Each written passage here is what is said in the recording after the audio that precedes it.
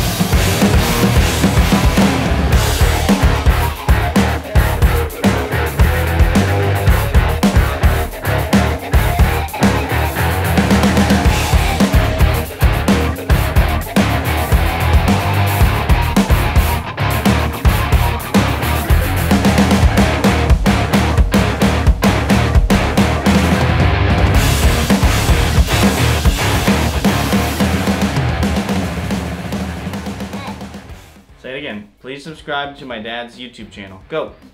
Please subscribe to my dad's rep. Try it again. Please subscribe to my dad's rep My dad's YouTube. YouTube channel. Okay, say it again.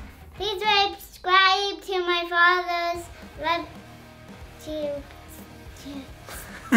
channel. YouTube. YouTube channel. YouTube channel. YouTube. Okay, say it again. Please subscribe to my father's YouTube channel. Nice.